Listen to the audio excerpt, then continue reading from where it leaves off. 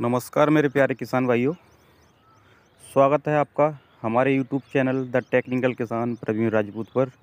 आज मेरे किसान भाइयों, आज मैं आपको एक ऐसी जानकारी देने वाला हूँ, जिससे क्या है, आप गेहूँ की पैदावार में कम से कम पंद्रह से बीस परसेंट की पैदावार बढ़ा सकते हैं आप। अगर आपने एक तरीका आजमा लिया तो। वो तरीका क्या है, वो मैं आपको बताने वाला हूँ। आप वीडियो को लास्ट तक ज़रूर देखिए।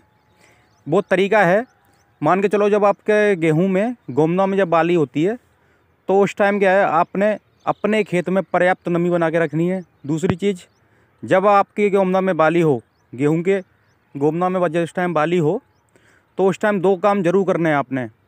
पहला काम, कम से कम पाँच से दस किलो बिया की यूरिया ले लें आप, और उसके साथ में कम से कम पाँच से आठ किलो बिया की पोटास।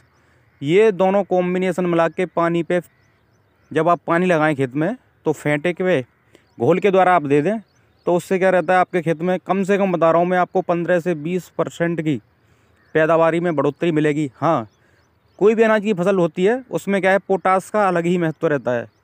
तो उसमें आप घोल पे पानी में पोटास का घोल दे दें आप, यूरिया के साथ कॉम्बिनेशन मिला के। उससे क्या रहेगा, आपके जो गेहूँ हैं, उसमें कम से कम पंद्रह से बीस परसेंट की गेहूँ में पैदावार आपको ज़रूर देखने को मिलेगी। पहली चीज़ ये रहती है बाबूजी, उसमें क्या रहता है? शुरुआत में आप गेहूँ की फ़सल क्या है? गेहूँ की फ़सल में आप दो बार पोटास ज़रूर लगाएँ, पहली बार। जब आपने बुआई करनी है, उस टाइम दस किलो की पोटास ज़रूर डालें आप।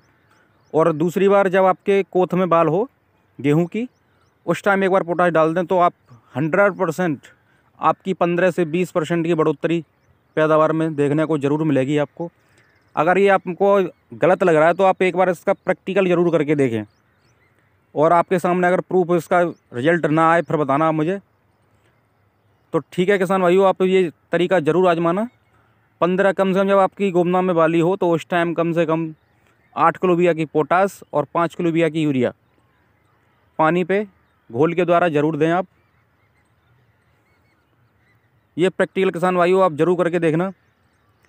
ये गेहूँ का खेत है और इसमें है ना ये पोटास और गेहूँ, वो दोनों चीज़ें हमने डाल रखी है। जो कि बाल बहुत अच्छी निकली हुई है इस गेहूँ में। तो आप भी अपनी पैदावार बढ़ाने के लिए ये दो तरीका ज़रूर करें।